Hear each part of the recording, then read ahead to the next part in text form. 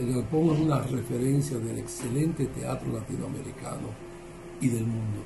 En estos 70 años de parte de Casa de Teatro y de todos los artistas dominicanos quiero extender el abrazo más apretado.